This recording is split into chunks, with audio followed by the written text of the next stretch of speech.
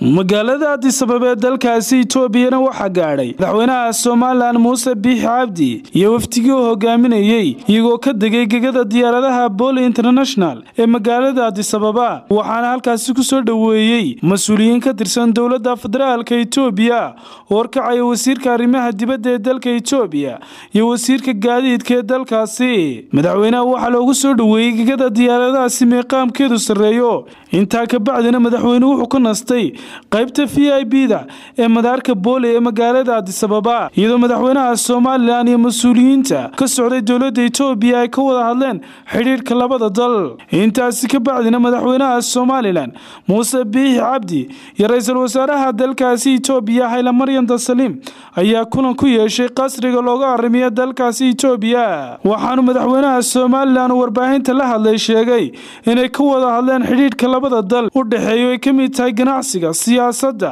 iyo wada shaqaynta labada dhinac. Isagoo ka waramayana wuxuu yidhi economical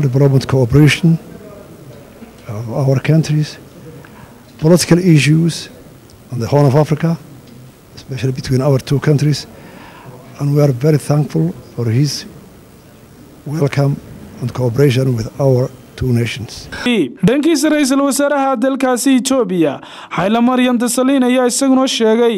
in labada dhinac ay ka wada hadleen si xoojinta xidhiidhka labada dhinac ilaalinta xuduudaha ganacsiga siyaasadda. Isagoo ka waramayana wuxuu yidhi discussed on uh, issues of security because uh, we believe that uh, Ethiopia's security is uh, security for Somaliland and Somaliland's security similarly started